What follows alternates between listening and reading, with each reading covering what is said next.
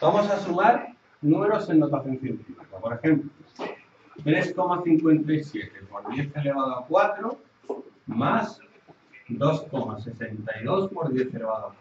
¿Qué te han explicado aquí? Que se pone 3,57 por... Y ahora para poner, tienes que poner ese número eh, elevado a 3. Entonces pone... ¿Cuál? Este, este, Sí, sí. ¿no? O sea, el mayor lo cambias al menor. Ahí está. Vale. Entonces, si tengo que restar uno aquí, Pues pone 3,57 No. por 10. no, Por 10 elevado a 3. no, porque Sí. entonces no es el mismo número. Bueno, eso es la, la No, no, no, el maestro no puede hacer esto. No lo hace, de hecho.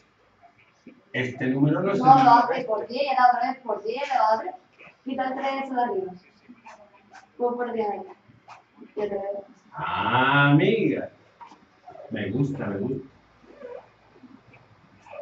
Y ahora al multiplicar esto por 10, corre la coma una vez a la derecha. Ahí. Está. Hecho un paso intermedio inteligente. Y ahora que tienen el mismo exponente, se pueden sumar.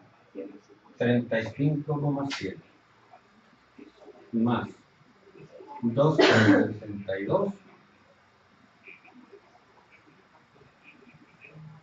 38,32 por 10 elevado a 3. Pero este número no está en notación científica. Igual a que 3,8.